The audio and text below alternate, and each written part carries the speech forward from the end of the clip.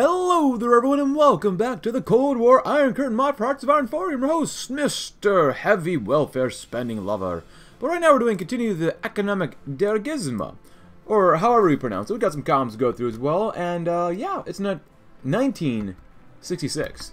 In which I think for now, what are we going to do here? We've done a lot of this around here. We can do some of the stuff down here. Remove our membership at SEATO, enact empty chair policy, create the Agence de Bassin. Not bad. Um, start the Moselle, Moselle canalization, inaugurate the Mont Blanc tunnel, reformation of the military service, Oh, announce France will leave NATO. Oh, is that historical? Um, we still have the military stuff we can do, but since we're going to rush down this way, like I said before, just because I think that'd probably be for the best stalemate. Left victor. Oh, 167, huh? Perform nuclear tests in the Pacific. Well, I think withdraw from the NATO integrated commandment. Sure. Well, we're going to also probably try to create the new Police Nationale, get some stability, get some political power, and get the reorganized high command, get more division organization, recovery rate. Probably create the Sikomi, uh, minus 1% consumer goods for 30 days, not bad. Create the Leti as well, and probably go and create state-directed growth, get two lines of uh, industrial parks, and build the Paris-Lille auto routes. So that's what we're going to be doing. Um, I didn't realize we can't get Brazil as a puppet because the game is just being the game. So obviously we don't have enough political power, but we they have 70 billion in GDP. We have almost 200 billion. I didn't know that until the end. So as we go in the future, I'm going to make sure we do okay. Oh, Harold Wilson is here too. Social democracy, huh? Increased agricultural subsidies. We are, I would say, rapidly catching up to them in GDP. West Germany, actually, we got a bigger GDP than them. Ludwig Erhard, you sound really fam familiar. Hmm. Hmm. And you guys have 88 billion, which is actually not bad at all. It's not great, but not bad. Uh, 86, 46. Uh, Italy is doing 120, so we're actually doing not bad. Spain is quite a bit as well. I forget exactly who we're trying to influence next. Ooh, actually, no, I remember now. We are currently trying to influence Denmark. We have 49% influence, which is, you know, Denmark is Denmark. It's not a huge nation, but it'll still serve its purpose, but, but a couple comments included. Um, Stalin was reworked this patch, and they added a path. The Des added a patch, or a path, where you can live longer past 53. Uh, someone says in TNO we should play Toskanovich, path for two men. Um, someone also says it'd be nice if he plays West Germany and unite Germany as a socialist under the SPD. Uh, okay. Uh, someone asks, where's Gandhi? That's a good question. What is India up to right now? Let's see, we have the state of Iran down here, Pahlavi. We have the Pakistani people. And we have, well, we do have a Gandhi. An Indira Gandhi, but probably not the Gandhi that people are thinking about. Oh, Bangladesh is not free yet, huh? Okay, well, and in the meantime, I'm already on advanced education system, heavy welfare spending. Um, also, I think, yeah, these guys popped out too, like I said earlier. You know, Front for the Liberation of Oppressed Peoples. We'll put it like that. Um, these guys are still hanging out. They hate the mainland China. Is that his normal portrait? Liberal conservatives. Huh. Okay. But we do have the guy right here. Antonio de Oliveira Salazar, which is very nice, actually. But we'll see what happens. Well, we've just finished our last focus of building the Paris-Lille autoroute, but now... We have the 1967 legislative elections. Now, that being said, we have the Union Républicaine Repo Populaire Victory. A stalemate. Or the Union Républicaine Populaire Victory. Oh. Huh, or left victory. But at the same time, the entire reserve fleet set sails, with parts of the reserve fleet already having set sail. The rest of the reserve has now completed recommissioning work and sailors flooding onto them, as well as naval aviators preparing their aircraft. Numerous carriers, battleships, cruisers, and too many destroyers account will set sail as the largest ship deployment since the Second World War is taking place. The Navy made a statement that mentions the protection of American interests and the lives of all American sailors aboard the ships at sea. They must prepare to take any action necessary in the defense of America and our allies. Because for some reason, LBJ has gone to war with Cuba. Right, we're having a Fidel. Wait. Um. Uh. Undermine the anti-war movement. Of course he would do that. Train Uruguayan death squads. Ecuadorian junta? Bay of Pigs. They attempted to assassinate him. Operation North Woods. Um... This is very weird. Um, I don't think we actually went to war with uh, anybody uh, after World War II, I mean, we've gone into conflicts, but we don't have actually declared war on anybody. So, yeah. I'm not entirely sure what to do about that one. But, at this time, um, the Republican, I don't exactly know which one it is, or who won, but it might be the PCF, actually. Um, let's see, who won? Let me double check. I believe that the URP did win, so go with that one for now, which doesn't really do too much for us. We can force the Economic and Social Empowerment Law. Um, but maybe first, uh, Viva Le Quebec Libre? Wow, that went really crazy with conservatism. 50% more seems a bit, a bit much, maybe. Maybe that was maybe the wrong one to do. I couldn't tell. Like, I, I think it's pretty much that one that did win. Oh, it was Malayan. I think it wasn't definitely still. It was definitely wasn't a left victory. I'm pretty sure. I think it was a URP victory, but I could be wrong. So do uh, Viva la Quebec Libre, De Gaulle World Tour. We'll definitely force economic and social empowerment, and uh, probably do the oh assassination of Trujillo. Well, if you wonder about that, please go ahead.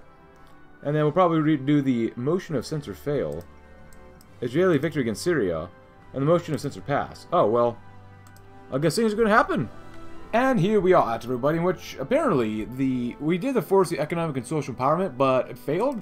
The, we got the event, but just that it failed. So there was literally nothing to show except that we failed. Um, yeah. But right now we're condemning the Jewish expansion of Israel. Uh, we could condemn American Vietnamese strategy, which I'm not so sure about condemning them. I mean, they don't exist. And then, of course, France-Luxembourg border rectification is very nice. That'll be, that'll be so nice. Especially Vietnam. It doesn't make any sense. Like, Cambodia is supposed to be having like a civil war type deal. Uh, not really much is going on down here. Not gonna lie. Um, these guys still exist. But at the same time, Cuba died. Welcome, America. To the 51st state. Good job, LBJ. You didn't have Vietnam, but you have Cuba and a drug efficacy amendment. Well, apparently we have Le Figaro, a general strike. The Maoists are out. The second day of La Sorbonne, which is from uh, the May 1968. Oh, 68. This is 69, but the riots expanded the Quartier Latin.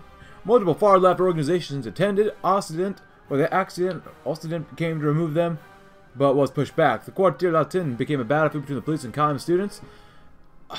Man, I don't know. They, I, I think it's a suggestion for the future. The devs should put in a way that, that says like, oh, this one's historical. Because you know, as much as I try to look up all this information, sometimes I can't really tell. Um, the police can't stop students. I don't know. Gaull's defeat, huh? So I'm gonna go. The police stop the students in negotiations with protesters. I guess we can repress them, but massive revolt. Oh, Grenelle's agreements, because I, I don't know my French history that well. And I'll be honest, probably no one else really does that much. Wait, we never had the Algiers coup. But, uh, I mean, some people will, but for me, I mean, like, LBJ, please, you're such a warhawk. Holy crap, dude. LBJ. Commurio Johnson. You're at war with the Warsaw Pact. Oh, General Strike. Multiple deaths during the breakdown of a strike. It's Pompidou meets de Gaulle. 8 million 8 millions of people are in the streets. Uh, it lights to spark a revolution. Are we... Are we gonna get cooed here? So, yeah. Well, we'll see what happens. No guarantees, of course, no guarantees. Don't mind me, we're just gonna go to Malaysia and, uh... Keep influencing them. I was just doing some nuclear tests in the Pacific. Don't worry about it. No worries. Um, there you go. Cool. And we have only 68% influence, which is not bad. Uh, I guess we'll negotiate. Why not? Yeah, 71%. Yeah, we're not going to be able to get to 90% just yet. GDP is looking okay. Uh, Signal 3 interoperability. But yeah, America's at war with the Warsaw Pact. And it's just America. Oh, the United Arab League down here too. Or Republic, I guess. Um, yeah, I don't want to get involved in that conflict. Actually, you guys have half a trillion, huh? Pompidou meets De Gaulle. Dissolves the National Assembly. I'll be honest, man. I, I, I literally don't have any idea about this. I know there's a lot of issues, though. Um, in France in 68. But, let me see. So we have Pompidou. Let's see. Pompidou. Um... You can even Pompidou. Alright, well, we'll see. Um... And de Gaulle fled, actually, historically. He refused refuses request to dissolve the National Assembly. Alright, well. But... Oh, oh goodness. Oh my goodness. He has fled... De Gaulle fled the country? Oh my goodness. Yeah, no, I, the devs need to definitely put in the historical route because he doesn't accept it, but de Gaulle dissolves the National Assembly to call new elections. I, I, I and the devs want this to be like have the historical thing actually happen because, like I said, I just don't know like different countries' events, and no textbook is really going to say that unless you actually get a very specific country textbook. Like, what? Find a, your average American, ask them, what was May 1968 like in France? Who's going to know that? Who, who's going to know that? The Prime Minister saved the day. We'll see about that. We get new elections though for 33 days. Um, so, in which I'll probably have to figure out what's going next. Large Gaul's victory. French Civil War. You know, a civil war and become salvation of France. Downfall of the regime, Maoist France. Elections of 69. Um, well, god dang. No revolution, probably, but that's why France is not fun. Like, what, what the heck, man? Uh, for according to Wikipedia, the legacy of May 1668, important reference point in French politics, possible liberation for others and other dangers of anarchy, it ended, meant the end of traditional collective action and beginning of a new era to be dominated mainly the so-called new social movements. Um. Okay, well, that's nice. Uh, French elections of 1969. Yeah, this is, I don't know, France. France, it, it, France is a pain in the butt. I mean, it really is. France is a pain in the butt. So, so the 1969 French presidential election took place on June 1st and June 15th of 1969 occurred due to the resignation of President Charles de Gaulle on April 28th. So, uh, let's take a look here. Actually, you can't see it, but I can see it right here. So, okay. And now, who's going to win next? Pompidou, huh? Large Gaul's victory. It'd probably be Gaull's defeat. Referendum. Referendum of success and failure. Well, I don't know about the Gaul's defeat. Um... Yeah, the Gauls, I think, won.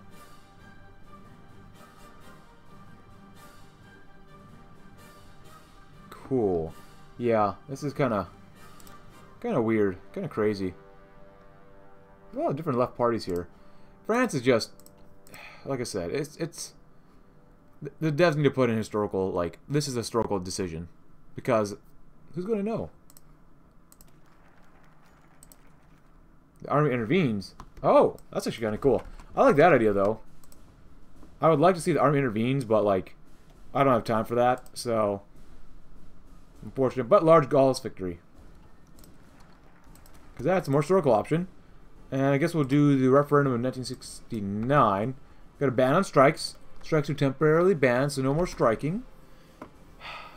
yeah, I don't know. This is something that does not interest me here, so... Just... All this upheaval. You can't really tell what's going on. So, but apparently, Pompidou became president. Georges Pompidou. He died in 1974. He wasn't that old. 63? Okay. Top paid uh, President Charles de Gaulle. Well, alright. Good for him, I guess. At the same time, I still want Malaysia under us. That's all I care about. Military Police 3 riot control? Well, could definitely use more riot control. Reliability this is not bad. Malaysia. Started influencing the nation. Please and thank you. They have negative debt. The games of the 19th Olympiad, huh? The summer games were a success. He's going down, Thailand's going down. Financial reserves. We definitely have more GDP than them, so. Yeah, we're not going to have PP, but we get about 3.5 a day, which is actually pretty strong. Heavy welfare spending is really good. Charles de Gaulle until he leaves. Um, so yeah, not bad overall.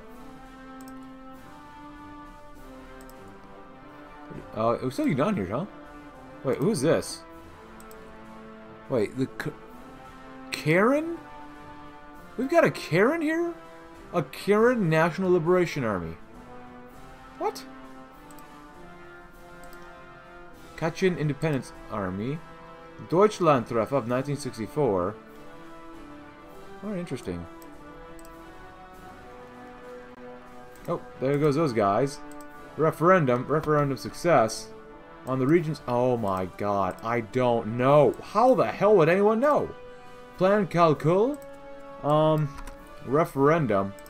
I guess I'll have to double check this. So, I'm not entirely sure, but I think I found a page on the 1969 French constitutional referendum in French in France on 1969 on April 27th, and it was rejected actually. So we got that one, I think. But we're going to go and do continue doing a plan local. Uh, we're going to do the resignation of de Gaulle as well. Um, so there's that, as well as the Fauchet reform. So I'm not entirely sure, but I think I found a page on the 1969 French constitutional referendum in French in France on 1969 on April 27th, and it was rejected actually. So we got that one, I think. But we're going to go and do continue doing a plan local. Uh, we're going to do the resignation of de Gaulle as well.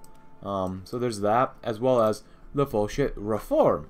And now we have the 1969 presidential elections. French underscore elections.3.d. Complete the focus elections of 69. Gets event 1974 presidential elections in which Georges Pompidou, like I said earlier, did win. So the UDR wins. He's got some smiling guy here who's got quite the large bulbous nose, does he not? We have a limited conscription. I guess we can go lower. Uh, however, I do want to wait to do that one. Create the Agence de Bassin, which we're of course doing, like I said earlier. Got some other stuff to do here. Get some research stuff done. Um, I've just been doing like, I'll be honest, like, doing the fade in, fade outs to this episode, I've literally just been doing other stuff at home, so like, it is what it is, but like, even, even like, this is why fade in, fade out so much, just because it's, where the heck is it direction on Oh, I never did that one. Oh, no, I found it. Uh, solid core nuclear stuff, rocket stuff, very cool. Oh, and we probably need this one too. Expand civilian nuclear program? Why not? We could probably use that, right? Um, so we're going to continue going on with the reformation of the military service, of course, like remove membership, enact empty chair policy, announce France to leave NATO. We'll probably say this one for last. I don't really want to leave NATO. You know, it's kind of useless now that America's at war with the Warsaw Pact. But, at the same time, oh, we could the franc devalue. That hurts us an incredible amount, but we do get a lot of political power. We can also relax media restrictions. Remove Gaullist media, which is not terrible, actually, to, get rid of. End Gaullist social repression. Oh, okay.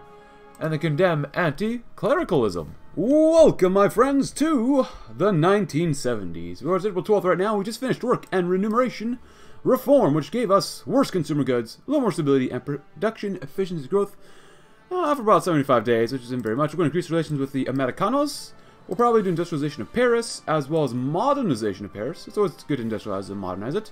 As we are still slowly moving through this focus tree, even though I guess technically we should be getting another one by the end of this uh, of this uh, path. But we'll do this one, we'll do modernization, we'll do all these, probably this one at the last before we do this one. We'll probably do paternal equality between men and women, and then establish a SMIC, which kills a little bit more of our consumer goods, but gives us slightly more stability and production efficiency growth. Well, everyone, it's March 24th-ish, 1971. We're finally reforming the military, but unfortunately, that's pretty much all the time that we have for today's video. Um, I haven't done all this stuff yet, and now we can almost leave NATO if we really want to. Uh, hopefully we can, if we really want to. I do want to do, like, all the focuses before... Lessons of Algeria, huh? before we get to this one. So we'll do a couple more off screen. I'll do a few more off screen.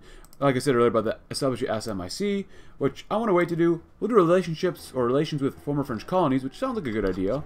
You know, we still have a lot of colonies beneath us. Um, we'll probably also do social welfare. Eh, you get a lot more political power, but it does hurt your consumer goods, which is kind of a let's give and take, which is not bad. Like I said, do that one. We'll do Aryan Space. Uh, Aryan Space? Aryan Space Program sounds very German. And probably fund the academies, and maybe further urbanize, further urbanization of the countryside, and a TGV project? A TV project. But before we go, I do want to let you know, we did puppet Greece. which honestly sounds like it's going to cost us more in the end anyways. But nothing really changed. We got him as a puppet, but also, uh, uh, Hanukkah? Cool. Um, we have Denmark, and I, I don't know what to do with their money. So I've just been paying off, like, everyone's debt. I'm not sure what to do. I know we're just so generous here. Oh, well, we try to pay off everyone's debt as long as we have influence over them, so... Yeah, and apparently, I, I think Italy's a little bugged. Earlier they went third position. They really went fascist, but now they're monarchists.